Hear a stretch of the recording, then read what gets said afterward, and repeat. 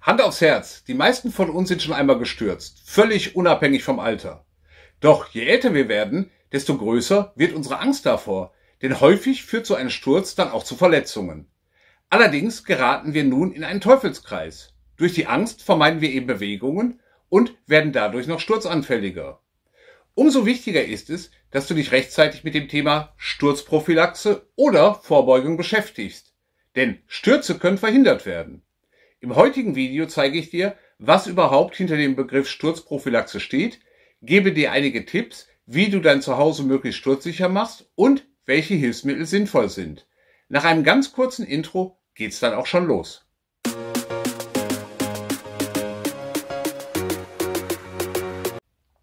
Und ich freue mich, dass du auch heute wieder auf meinem YouTube-Kanal Fakt ist vorbeischaust. Und ich verspreche dir, es lohnt sich. Egal, ob du noch fit bist, pflegebedürftige Angehörige betreust oder selbst pflegebedürftig bist.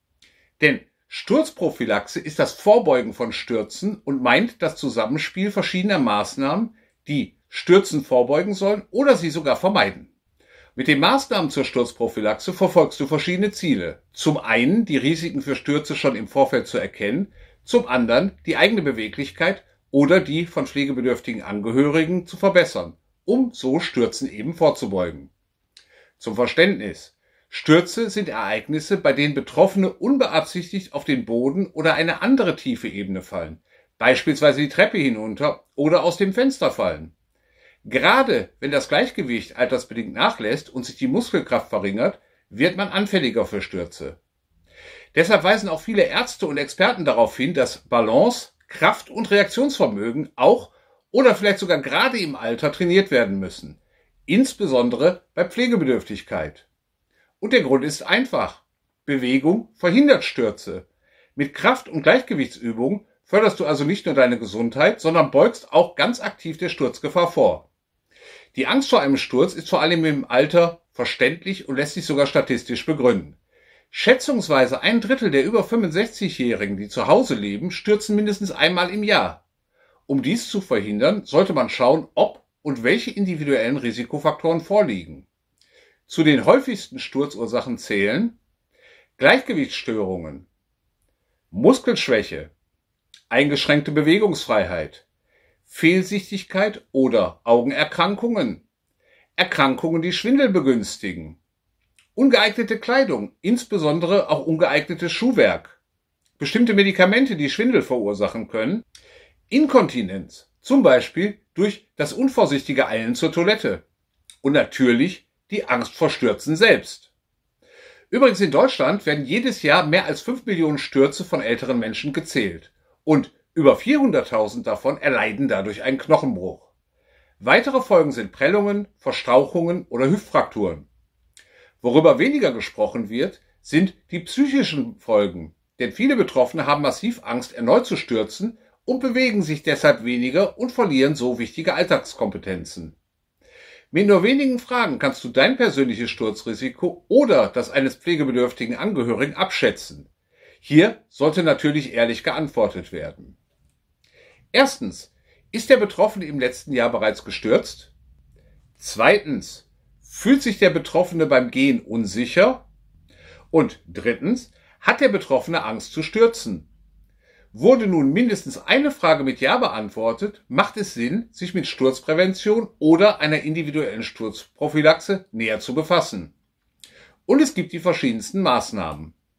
Zum einen die personenbezogenen Maßnahmen, bei denen Betroffene direkt an sich etwas ändern bzw. trainieren können. Zum anderen medikamentöse Maßnahmen, die mit einem Arzt besprochen werden sollten. Und darüber hinaus noch die Anpassung des Wohnraums, eben um eine sichere Umgebung zu schaffen. Beginnen wollen wir mit den personenbezogenen Maßnahmen. Wie anfangs ja schon ausgeführt, trägt Bewegung entscheidend dazu bei, die eigene Muskelkraft und die Beweglichkeit zu fördern und somit das Sturzrisiko von Anfang an zu minimieren. Immer abhängig von der eigenen körperlichen Fähigkeit kannst du folgende Maßnahmen angehen. Übungen, um das Gleichgewicht zu fördern. Ausdauer- und Krafttraining zur Förderung der Muskulatur.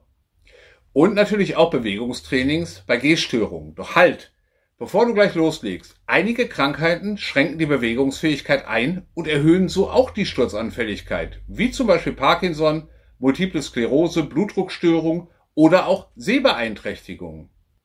Kläre also die Maßnahmen unbedingt vorher mit deinem Arzt ab. Er wird dir auch erklären, welche Trainings sich am besten eignen. Und denke auch daran, dass hier nicht das Ziel ist, Leistungssport zu betreiben, sondern lediglich durch eine vielleicht auch kleine Steigerung der körperlichen Aktivität die Lebensqualität zu erhöhen. Achte unbedingt darauf, dich oder pflegebedürftige Angehörige nicht zu überfordern. Der Spaß an der Bewegung sollte nämlich an erster Stelle stehen. Und wo wir schon dabei sind, achte auch beim Training auf passende Kleidung und Schuhe, denn du willst ja nicht rutschen oder irgendwo hängen bleiben. Und nun zu den medikamentenbezogenen Maßnahmen. Ja, auch Medikamente, zum Beispiel blutdrucksenkende Mittel oder Beruhigungsmittel, können die Sturzanfälligkeit erhöhen. Denn einige Medikamente können Schwindel auslösen oder zu einer unzureichenden Flüssigkeitsversorgung führen.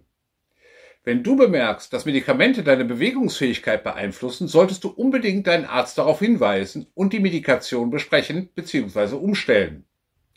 Klar gilt das auch, wenn du oder ein pflegebedürftiger Angehöriger ein Medikament absetzt und entsprechende körperliche Anzeichen bemerkst.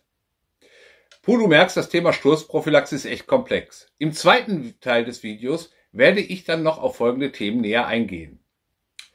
Die Wohnraumanpassung bzw. barrieresfreies Wohnen als Sturzprophylaxe. Zweitens Zuschüsse von der Krankenkasse. Drittens Hilfsmittel für die Sturzprophylaxe. Und viertens, Sofortmaßnahmen nach einem Sturz.